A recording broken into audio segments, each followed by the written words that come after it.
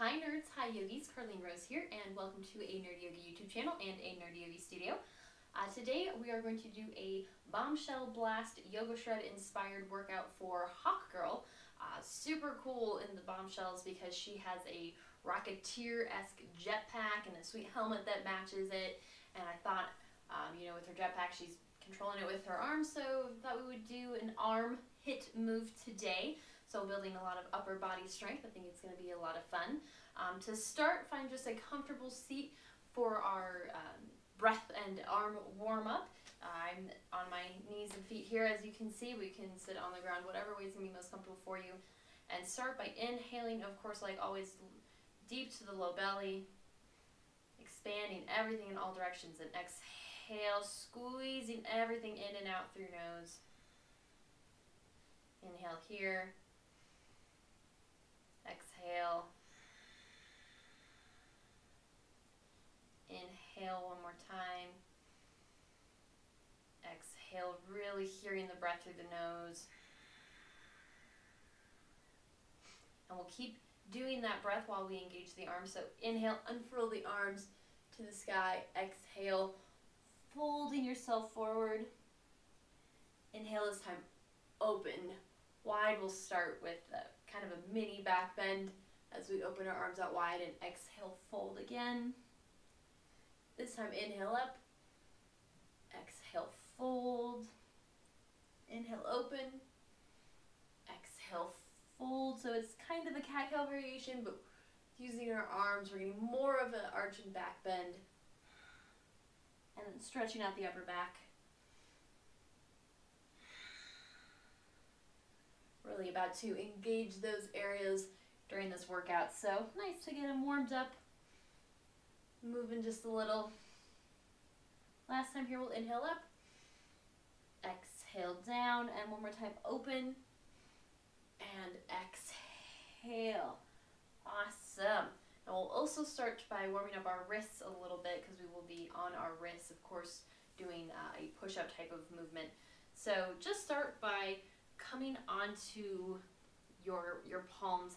Have your palms facing away from you, your pull, uh, facing away from you, and find a comfortable area for your hands to rest on the, the earth.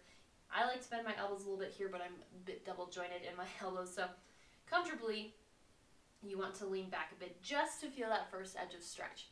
Um, obviously, whatever your flexibility is, is where you want to hang out. You don't want to lean back if your flexibility is here, if you're feeling the stretch. So find that area of stretching and you can bend your arms if that makes it more comfortable. And you can gently rock back and forth. Starting to stretch the forearms and the wrists. And then we can flip the other direction and same thing. You might notice flexibility is different one way and the other. This is just a gentle warm up. And we can go back. Getting that first edge of stretch. Awesome. And then one move you might want to do with our rest, obviously we'll have our Tabata timer. So we'll go 20 seconds on, you know, all out as much as we can, and then 10 seconds of rest, which uh, will be not quite enough time for us to recover, which is how you get that high intensity interval training. But during that 10 seconds of rest, might be good to do the wrist clear. So you can obviously shake out your wrists. Uh, you can massage your forearms. That feels really nice. But then the key is to grab your wrist and try and pulling the wrist away from your forearm. That'll get you some traction. So you can try it now and you can feel how that opens up the wrist. It's very nice. Very nice to do when we're doing a lot of poses on our wrists. And one last move here, well, a couple last moves here. Let's do some cat-cow on hands and knees. We'll inhale here, arch. Exhale. Inhale. Just getting more movement. Awesome. Now take your right arm lift it up to the sky. Exhale, thread it underneath the left hand, or underneath the left arm. Don't um, rest it though, we'll keep going. So inhale up. Exhale. Inhale up. Exhale, again, just tapping into the areas that we'll be working, getting them warmed up. Awesome. And switch sides. So this time, left arm reaches to the sky. Exhale, thread it under without resting it on the earth. Up.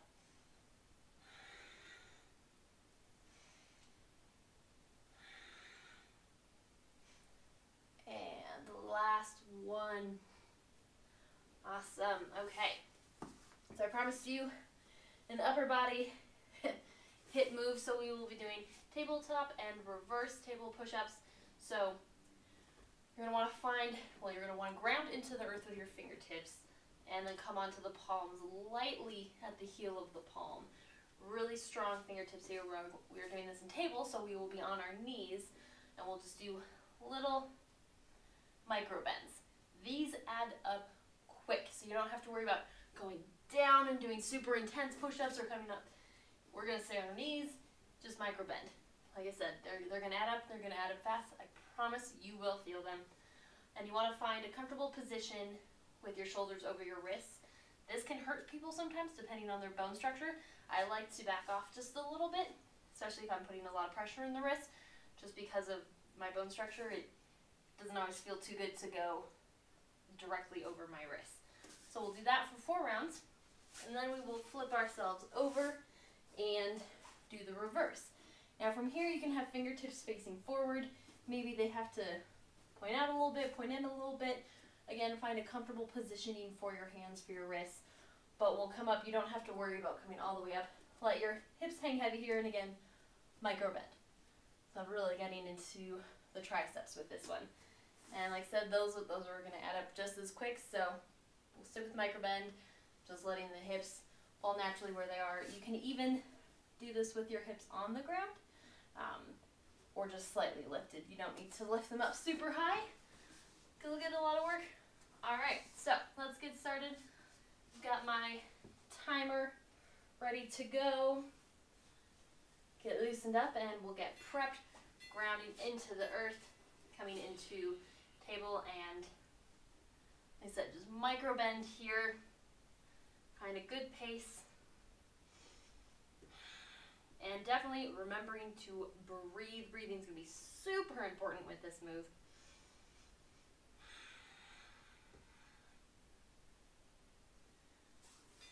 Awesome. Now on the rest, again, you can do that wrist clear. You can interlace your fingers behind you, stretch it open. And coming back into it.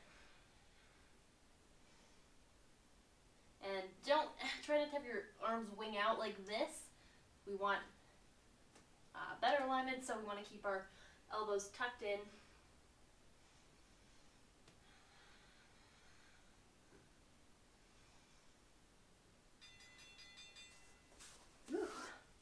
Feeling it already. I don't know about you guys. Stretch it out. Awesome. Back into it.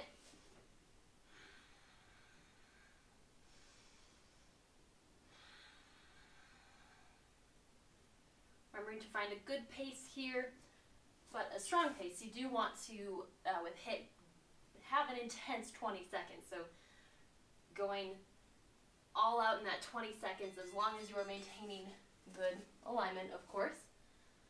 And you can always stretch your arms across. That feels nice. Back in it one more round here and then we'll we'll switch over.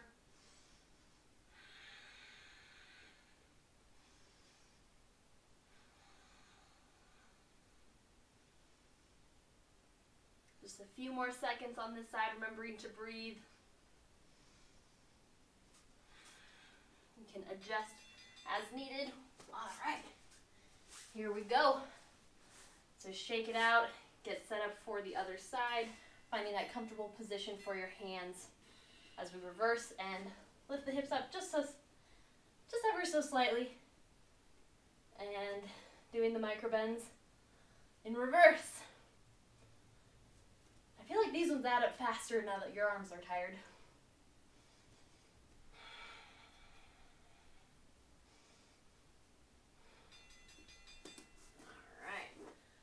these ones, it feels really good to stretch out the arms. You can even stretch behind your head. And get ready back into it. Now, as you're doing these, if you find yourself getting worn out, you can sit down, keep going. Again, the priority is maintaining good alignment and then coming up with uh, the pace that you can go to get a good workout.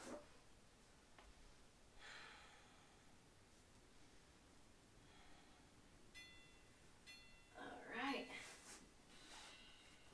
And adjust your hands as needed if you notice maybe you're not super comfortable with the wrist position or fingertip position that you had.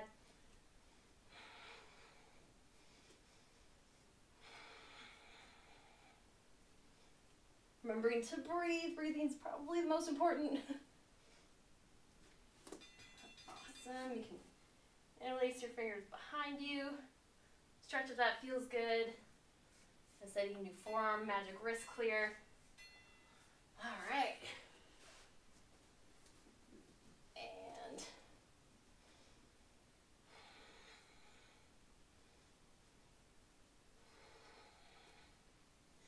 keep breathing, keep going. Remember, sit down if you need. You can do this here.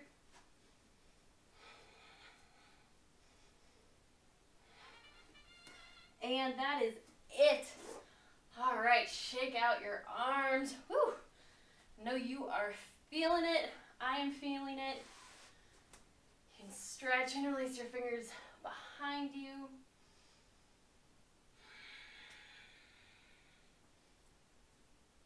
Stretch your arms across. Take this time to find whatever stretches you want, any stretches you might need here. Awesome. Definitely do that magic wrist clear. Now we've been on our wrists for so much, massaging the forearms.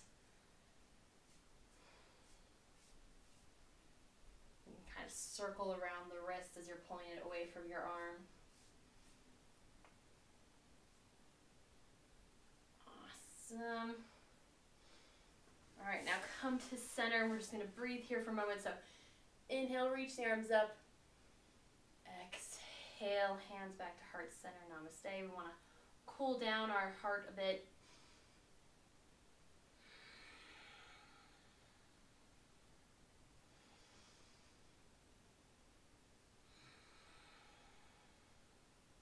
We'll open our arms wide like we did to start.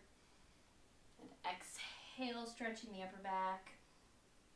Inhale here. Exhale. Inhale here. Exhale. And nice from here, let's do an eagle. So wrap one arm under the other. And inhale, lift the elbows up high. And exhale, just gently fold.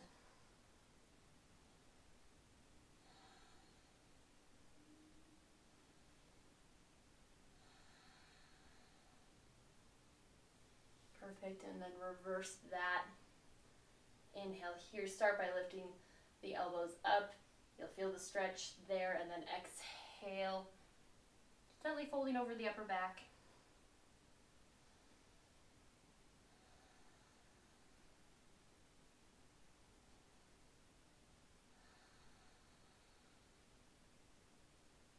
Awesome, and shake out your arms again. That is definitely the area we worked the most. Uh, you can always more of the wrist stretches like we did in the beginning.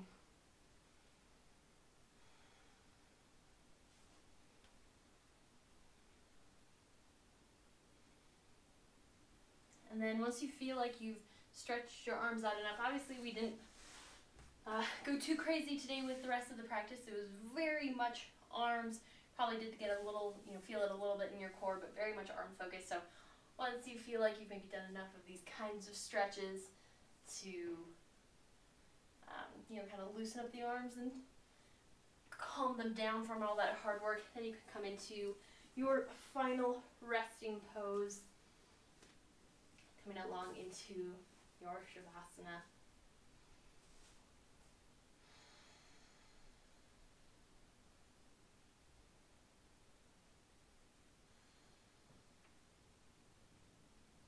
Definitely stay here for a couple of minutes, really enjoying this rest after that hard work. Hopefully, you had fun with that practice. Um, I I liked it. You know, why not get some arm strength while we're doing this kind of thing, right? So, uh, definitely fun practice. Definitely uh, make sure that you are subscribed to the YouTube channel so that you get uh, notifications for any upcoming videos, or I should say all of the upcoming videos. And if you want some exclusive content, do have the League of Nerdi Yogis email list that you can jump on, and you'll get exclusive content there. Namaste.